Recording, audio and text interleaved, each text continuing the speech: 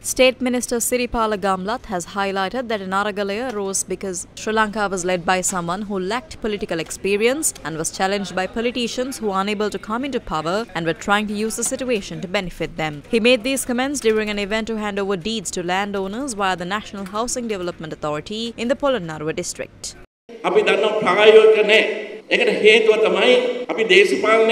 The idea to ban chemical fertilizer was done with good intentions, but we knew that it wasn't practical. Although he made decisions with good intentions, they were not practical. So it was our fault to bring in a leader who lacked political experience. We went wrong because we tried to follow the footsteps of a leader who lacked political experience.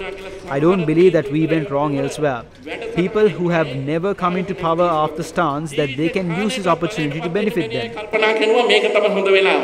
ඡන්දෙන් යන්න බැරි අය කල්පනා කරනවා අපි මේක අවස්ථාව කරගන්න.